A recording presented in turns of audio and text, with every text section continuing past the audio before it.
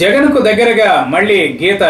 ఆమె రెవెన్యూ శాఖలో కీలక అధికారినిగా పనిచేసేవారు. రెండు వేల పద్నాలుగు ఎన్నికల ముందు వైసీపీలో చేరిన ఆమె ఏకంగా పార్లమెంటుకే పోటీ చేశారు. అరకు నుంచి బరిలోకి దిగిన కొత్తపల్లి గీత లక్ష ఓట్ల పైచిలుకు మెజారిటీతో అప్పటి కేంద్ర మంత్రి కిషోర్ చంద్రదేవ్ మీద గెలిచి వార్తల్లోకి ఎక్కారు. తీరా చూస్తే ఇక్కడ జగన్ నాయకత్వంలోని వైసీపీ అధికారంలోకి రాలేదు. దాంతో ఆమె తెలుగుదేశంలో చేరిపోయారు.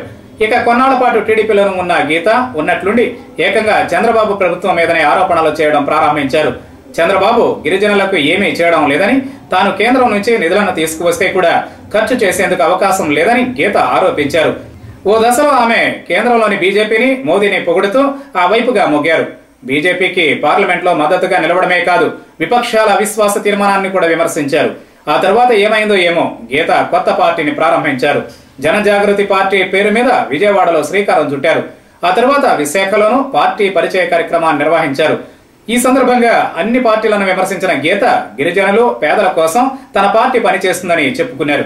ఇప్పటికీ కొన్ని నెలలు గడిచాయి గాని గీత పెట్టిన పార్టీ ఊసు మాత్రం మళ్ళీ వినిపించలేదు. తాజాగా విశాఖ విమానాశ్రయంలో వైఎస్ జగన్పై జరిగిన హత్యాయత్నం ఘటనపై అరకు ఎంపీ స్పందించారు.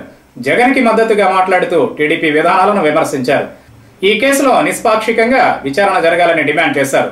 నాలుగున్నరేళ్ళుగా జగన్ విమర్శిస్తూ సాగిన గీత ఇప్పుడు ఒక్కమారుగా మద్దతుగా మాట్లాడడం రాజకీయంగా చర్చనీయాంశం అవుతోంది ఆమె మళ్ళీ వైసీపీ వైపుగా మొగుతున్నారా అన్న సందేహాలు కూడా కలుగుతున్నాయి. అరకులో ఇప్పటికీ వైసీపీకి ఎంపీ క్యాండిడేట్ లేరు. దాంతో గీత ఏమైనా రాయబారాలు నడుపుతున్నారా అన్న ఆలోచనలు అందరిలో వస్తున్నాయి. మరి చూడాలి.